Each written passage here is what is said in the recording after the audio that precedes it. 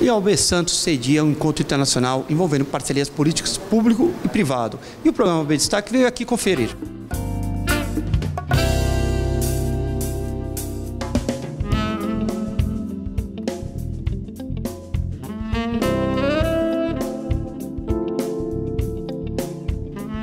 E a nossa missão aqui é apresentar é, um assunto antigo de uma maneira nova, que é o polêmico, o antigo e o tão querido Ligação Santos-Guarujá. A importância de nós restabelecermos um ponto em comum para que essa obra aconteça. Trazemos aqui fatos novos, trazemos aqui alguma parte da história em que há um conflito entre vamos construir ponte ou vamos construir túnel. Trazemos um horizonte. A importância de que nós estamos próximos a um, um enorme colapso logístico que pode parar a movimentação, a mobilidade das duas ilhas.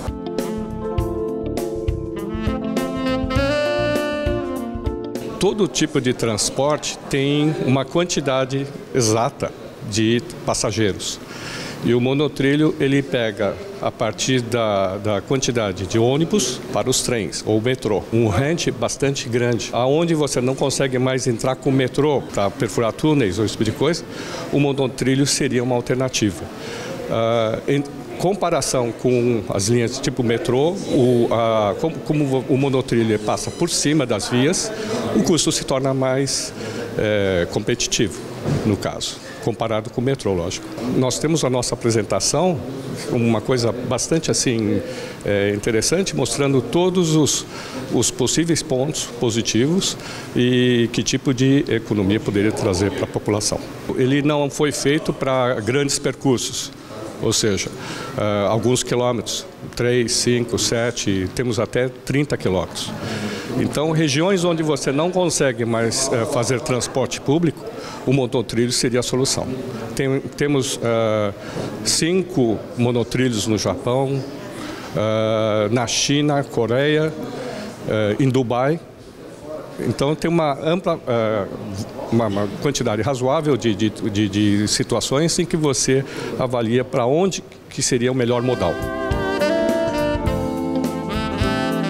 A minha primeira participação no Porto Santos foi para estudar a, a sedimentação que acontece no, no estuário. Isso foi em 1969. Então, 69 nós já estávamos estudando por que, que sedimenta tanto, por que, que é, fica cheio de terra o estuário do Porto de Santos. De, depois disso, nós, em 75, 76, nós construímos o emissário submarino de esgoto de, de Santos. E para saber até onde a gente tinha que levar a, o esgoto tratado, tivemos que levantar todas as correntes marítimas dessa região, do Guarujá, a corrente brasileira, a corrente das Malvinas. E aí nós tivemos um conhecimento muito grande sobre o fluxo de água em toda essa região. E aí tem um padrão chamado padrão do Canal do Panamá. E os navios que são fabricados em função do canal chamam-se navios Panamax. Depois de muitos anos, eles descobriram que aqueles naviozinhos lá não serviam para nada, tinha que ter navios maiores. E aí eles começaram a fabricar um navio chamado Neo Panamax. Ele é um pouquinho mais largo, um pouco mais fundo. Tiveram que fazer um segundo canal. Gastaram dinheirão e já inauguraram o segundo canal. E, na, e passa um navio de 49 metros de, de largura. Só que os coreanos estão fabricando navio com 55 metros de largura. Não passa nem no, no canal do Panamá 2. Chama-se Post Panamax que é o tema da minha, da minha palestra. Daqui a pouco nós vamos ter navios, chama-se Chinamax, com 24 metros de calado. E eu não sei o que eu faço com os 12 metros aqui de Santos. É, é tá difícil, entendeu? Então eu vou ter que falar de umas coisas que o pessoal não vai gostar, mas infelizmente a gente não pode fugir da realidade. É, vou tentar ser assim o mais é, é suave possível, entendeu? Para não chocar tanto as pessoas. Vou, dar, vou jogar uma sementinha na cabeça e essa sementinha vai eclodir depois que eles saírem aqui do Congresso. Vou conversar agora com o doutor Marcelo Nicolau, que é secretário de Turismo e Cultura de Guarujá. Marcelo, que é um amigo de longa data, estudamos juntos no colégio, né, Marcelo? E é um prazer tê-lo aqui. Serginho, o prazer é todo meu. É um prazer estar aqui na OAB Santos para falar um pouco da Fortaleza da Barra. E vamos falar sobre é, o foco até no, desse encontro é sobre a parceria público-privado. E o Guarujá, e aqui toda a região, é rica em patrimônio histórico. E a gente vai conversar justamente pela a, a, questão da fortaleza. Marcelo, como se encontra a questão da fortaleza? O que, que a gente pode esperar nos próximos, é, nos próximos instantes aí que vai alterar? A Fortaleza nós temos avançado bastante com a parceria público-privada. Nós temos que alcançar três pilares, doutor: o pilar do pertencimento, o pilar da visibilidade e o pilar da acessibilidade. Quanto ao pilar da visibilidade do pertencimento, nós já alcançamos com o Instituto Neoenergia, que é um instituto que que organiza todas as empresas que cedem energia para o município, que, que promovem energia para o município, como Electro, CPFL e outras. E nós fizemos toda a iluminação da fortaleza. Hoje, quando você passa, você vê a fortaleza toda iluminada de forma bastante clara e bonita. Quanto a, a a acessibilidade é isso que nós estamos buscando, uma parceria público-privada com a Caixa Econômica Federal, com convênios federais e com convênios privados também. Certo. E você, a, a gente estava conversando aqui fora também, a gente tem um problema social enorme no Brasil e o Guarujá não, não escapou disso. E essas questões com relação realmente a em volta que cercam, como que o município está enfrentando essa situação? É, a Universidade Uni Santos, junto com a, com a, Prefeitura do Guarujá, tem desenvolvido um projeto que é Histórias e Histórias, lá da Santa Cruz dos Navegantes. Então, a população em volta tem mostrado qual é a sua história em relação à Fortaleza. Que a Fortaleza existe há bastante tempo, antes deles lá. Então, como que o pai deles, o tataravô deles, é, é, usufruíram da Fortaleza e as histórias que tem. Isso tem trazido um pertencimento. Nós temos levado também para lá várias atividades culturais, artística, capacitado as pessoas para que as pessoas provoquem um produto Fortaleza e divulguem ele como turisticamente agradável também para o município e para toda a Baixada. Isso é importante importante, porque a consciência, não só ambiental, de jogar lixo no, no, nos mares, mas também a consciência cultural, para entender que lá existem patrimônios que estão desde o descobrimento do, da, do município de Guarujá e do município de Santos, enfim, do Brasil. Marcelo, vamos avançar aqui nessa questão política privada, público-privado, que é muito importante. Sem isso, as coisas ficam engessadas, não é? É exatamente. No Guarujá nós temos vários equipamentos que precisam da parceria público-privada. Nós temos ginásios municipais, nós temos até a, agora a advinda do novo aeroporto para a região e que tem a parceria, claro, de grandes companhias aéreas interessadas em participar da concessão. Muito importante né, que seja feito um trabalho de salvaguarda da fortaleza. Então, envolve um trabalho de registros, né, de pesquisas, de tudo que foi vivido nessa fortaleza, um trabalho de pesquisa, eu sou pesquisador também do IFAM. É, nós fizemos com a capoeira, né, para ela virar patrimônio da humanidade, nós fizemos pesquisa, fizemos um dossiê completo entre fotos, pesquisa, histórias, personalidades, identificamos todas as personalidades que pouca gente né, fala e pouca gente conhece nas escolas. Então nós temos um problema muito profundo no Brasil que ninguém sabe a história verdadeira dos nossos heróis. Então muitos heróis aí estão escondidos ainda, então o nosso trabalho como pesquisador é identificá-los e trazê-los para a nossa né, cultura que seja valorizada para nossas escolas. Né? O salvaguarda né, da, da Fortaleza é desenvolvido com pesquisa com dossiê para depois ser transformado em material didático para todo o Brasil, não só para a comunidade local, então é só para a cidade do Guarujá. Então, todas as pesquisas que são feitas e entregues ao IFAM, que é o órgão federal, que tem a superintendência aqui no caso de São Paulo, é, onde a gente trabalha mais próximo. Então nós vamos articular, entregar a documentação toda e que para que esse material depois seja desenvolvido com algumas editoras que a gente pode estar também articulando para colocar nas escolas. Agora, a gente sente que os municípios ainda têm bastante dificuldade em aplicar essas normas, sejam porque estão acostumados ao sistema antigo é, de concessão, né? É, seja porque o sistema de parceria público-privada exige um pouco mais de cuidado, um pouco mais de técnica, né? É um sistema bastante interessante, é, muito melhor que os sistemas anteriores do ponto de vista de controle da legalidade, de moralidade e de eficiência. A gente costuma dizer que tem tudo de bom, porque ele traz o dinheiro da iniciativa privada com obrigações que garantem transparência, moralidade, eficiência. Tanto a parte jurídica, por se tratar, embora a legislação já tenha mais de 10 anos, é considerada uma legislação nova, né?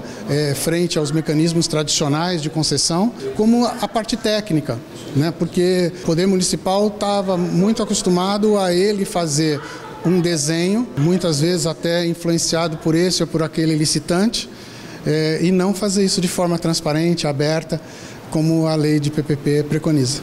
Está demorando demais. É, o sistema de PPP funciona desde países capitalistas, como os Estados Unidos, até países comunistas, como a China. Então é um sistema que funciona em todos os lugares, tanto no sistema de legislação de common law, como no sistema de legislação posta como a nossa. Então não há razão para que não funcione aqui. É, para nós da Cooperbank que já militamos nesse assunto há mais de 15 anos, o que a gente detectou ao longo dos anos é a integração de todos esses atores que nós temos, que vai desde a educação, que vai o professor, vai o aluno, vai o gestor público, vão os catadores, vão as empresas de responsabilidade socioambiental, vão as indústrias que produzem as embalagens. Então isso é muito complexo. Tanto que hoje, para nós apresentarmos aqui na OB, nós trouxemos somente duas lâminas para ser apresentado a, a, todo mundo para falar um pouco sobre esse assunto. De tão vasto e tão grande e rico é esse assunto. Se nós colocarmos que todo mundo anseia que tenhamos uma coleta seletiva, uma destinação correta dos resíduos, se o material reciclável todo mundo diz que dá dinheiro, qual é o grande problema então que isso não acontece? Qual é o grande desafio? O nó disso tudo. Por isso a gente coloca hoje que nós vamos desde a utopia a o que a gente pode imaginar hoje de é, descasos né, que vão desde é, o gestor público, o próprio morador das suas residências, todo mundo quer, mas na hora de fazer a sua parte, ele deixa de lado, ele sempre coloca que é o vizinho que não faz, é porque é difícil para mim. Então, o que a gente coloca hoje, na, falando de Baixada Santista, nós temos um aterro sanitário que recebe o resíduo de quase toda a Baixada em grande volume. Todo esse lixo que chega ao aterro sanitário, ele saiu normalmente da sua casa com uma sacolinha uma sacolinha de supermercado. Então, como é só uma sacolinha, não tem problema nenhum. E aí a gente tem milhões e milhões de quilos sendo enterrados de material que poderia ser produzido e reciclado. E aí na outra ponta nós temos os catadores que fazem esse trabalho de formiguinha, normalmente sem uniforme, sem uma identificação, então todo mundo até a sua grande parte confunde morador de rua, catador, com gente com andarilho. Não, nós somos catadores de material reciclável. Né? É isso que a gente tenta trazer. E o que a gente vê nessa proposta da parceria público-privado é a gente encurtar esses caminhos porque a gente precisa ser mais eficiente, mais rápido para a resposta às, às, políticas públicas. Nós temos hoje na Baixada Santista um bom relacionamento direito entre as cooperativas de catadores e os, os, os agentes públicos, e normalmente a gente está mais ligado com as secretarias de meio ambiente. O grande problema é que são muitos desafios para eles poderem é, atravessar. Então nós temos desde constituição da lei, é, cumprimento de leis, olhar do público e o que a gente coloca, inclusive nós tivemos uma reunião muito produtiva na última sexta-feira na agência metropolitana com os secretários de meio ambiente, com a CETESB e os catadores agora organizados em uma cooperativa de segundo grau, que o nosso maior desafio é entre o que o poder público pode ofertar e os que os catadores podem fazer, nós temos que entregar um serviço de qualidade à população. É isso que a gente tem em mente.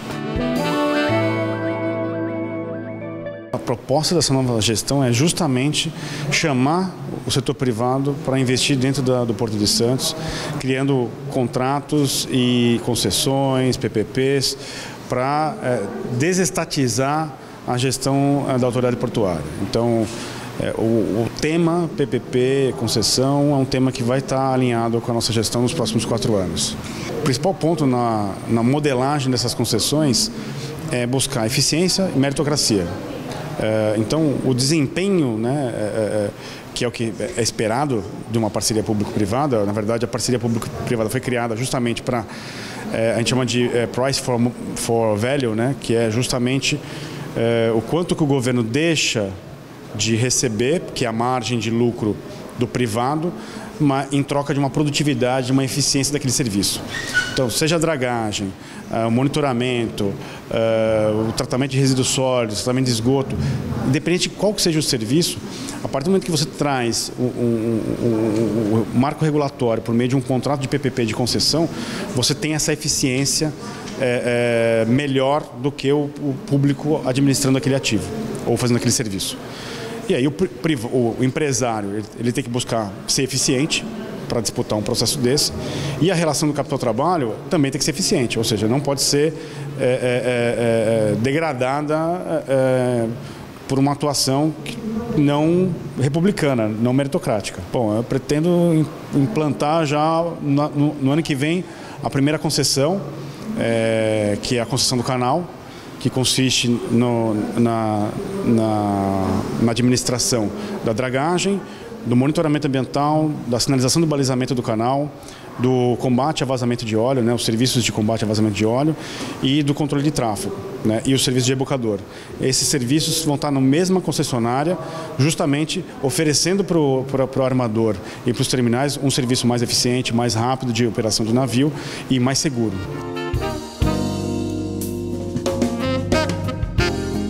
Hoje o meu, o meu trabalho, meu grande desafio aos 53 anos é trabalhar no setor 1,5 e o setor 2,5. Você acabou de falar, política pública é o primeiro setor, ponto .gov, para quem está acompanhando, quem é do mundo digital. A política é empresarial é ponto .com. Então, entre o primeiro setor e o segundo, tem um setor ali no meio chamado setor 1,5, que a gente brinca carinhosamente. Os desafios são muito grandes. A gente tem hoje uma, uma, uma, mudança de velocidade de resposta. Com o mundo digital, o que os governos precisam fazer é melhorar a sua velocidade de resposta.